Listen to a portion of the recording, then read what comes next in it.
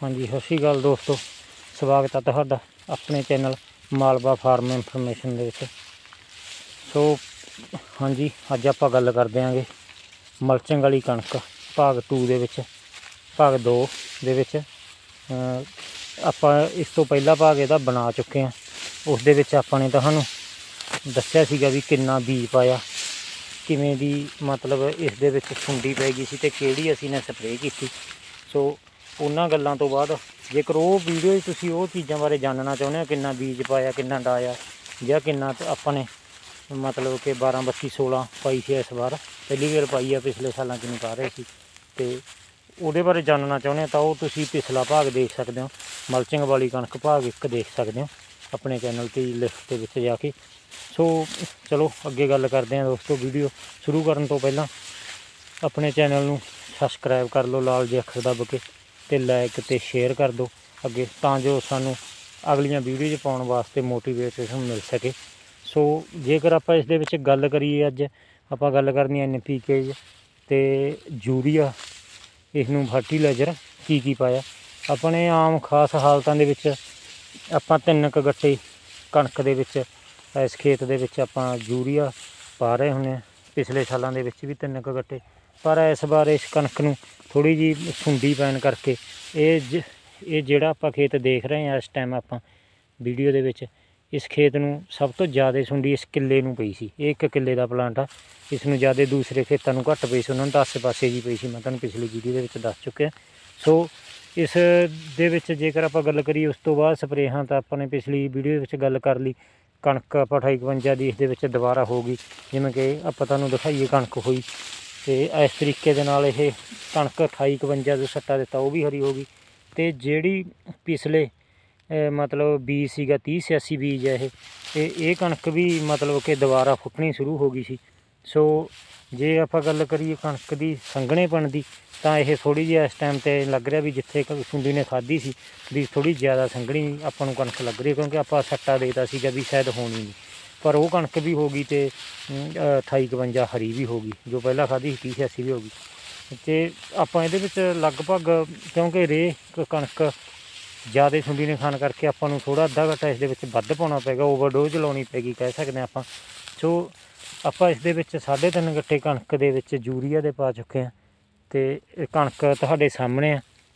ਜੇਕਰ ਆਪਾਂ ਗੱਲ ਕਰੀਏ ਇਸ ਦੀਆਂ ਮਤਲਬ ਕਿ ਐਨਪੀਕੇ ਦੀਆਂ ਸਪਰੇਹਾਂ ਦੀ ਤਾਂ ਇਸ ਦੇ ਵਿੱਚ ਆਪਾਂ ਦੋਸਤੋ ਸਪਰੇਅ, ਸਾਰਿਆਂ ਤੋਂ ਪਹਿਲੀ ਸਪਰੇਅ ਤਾਂ ਕੀਤੀ ਸੀਗੀ ਮੈਗਨੀਜ਼ ਤੇ ਮੈਗਨੀਸ਼ੀਅਮ ਦੀ, ਠੀਕ ਹੈ ਜੀ। ਉਸ ਤੋਂ ਬਾਅਦ ਆਪਾਂ ਨੇ ਚਲੇਟਡ ਜ਼ਿੰਕ ਤੇ ਮੈਗਨੀਸ਼ੀਅਮ ਦੀ ਸਪਰੇਅ ਕਰਤੀ ਦੂਸਰੀ ਤੇ ਉਸ ਤੋਂ ਬਾਅਦ ਜਦੋਂ ਇਹ ਕਣਕ ਦੂਸਰੀ ਕਣਕ ਦੇ ਉੱਤੇ ਆਪਾਂ ਸਪਰੇਅ ਕਰ ਰਹੇ ਸੀ, ਇਹ ਕਣਕ ਵੀ ਕੁਝ ਹੱਦ ਤੱਕ ਤਾਂ ਦੇਖੋ ਜਿਹੜੀ ਪਹਿਲਾਂ ਵਾਲੀ ਆ, ਉਹ ਨਿਸਰ ਗਈ।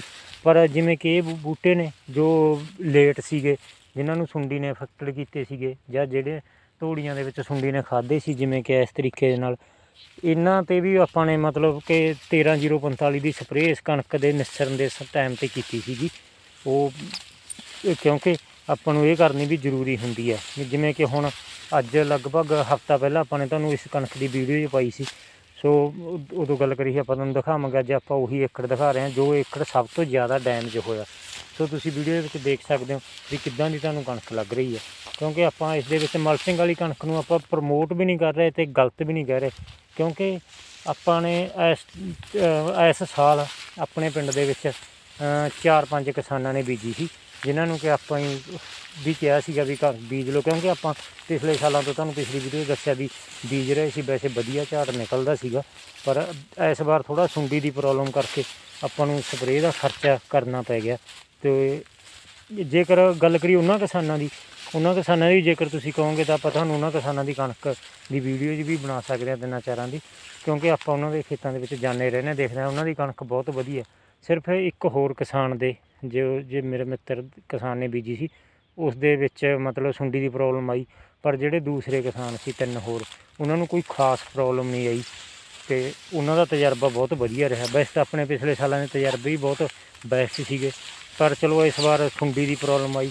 ਤੋ ਬਾਕੀ ਦੂਸਰੇ ਖੇਤ ਬਹੁਤ ਵਧੀਆ ਗਾ। ਇਹ ਇੱਕ ਕਿੱਲੇ ਨੂੰ ਮੈਂ- ਆਪਾਂ ਤੁਹਾਨੂੰ ਉਹ ਦਿਖਾ ਰਹੇ ਹਾਂ, ਜਿਹੜੇ ਕਿੱਲੇ ਦੇ ਵਿੱਚ ਸਭ ਤੋਂ ਵੱਧ ਆਪਾਂ ਕਹਿੰਦੇ ਸੀ ਸੁੰਡੀ ਨਾਲ ਮਤਲਬ ਜਿਹੜਾ ਵਾਹਣ ਸਭ ਤੋਂ ਜ਼ਿਆਦਾ ਡੈਮੇਜ ਹੋ ਗਏ ਸੀ।